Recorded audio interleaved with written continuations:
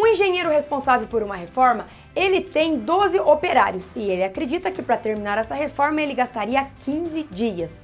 Mas como ele tem apenas 9 operários disponíveis, quanto tempo ele terminará então esta obra? E para nós resolvermos a questão, nós precisamos determinar se essas grandezas são direta ou inversamente proporcionais. Se eu diminuir a quantidade de operários disponíveis, o meu tempo vai aumentar. Já que nós temos aqui duas grandezas que são inversamente proporcionais, já vamos fazer pelo método prático. Vamos multiplicar então essas duas grandezas, multiplica-se reto. 15 vezes 12 que vai resultar em 180. E aí você vai dividir esse resultado pelo termo que sobrou, que é o 9. E 180 dividido por 9 vai ser igual a 20 com o resto zero. Logo, o engenheiro terminará essa obra em 20 dias.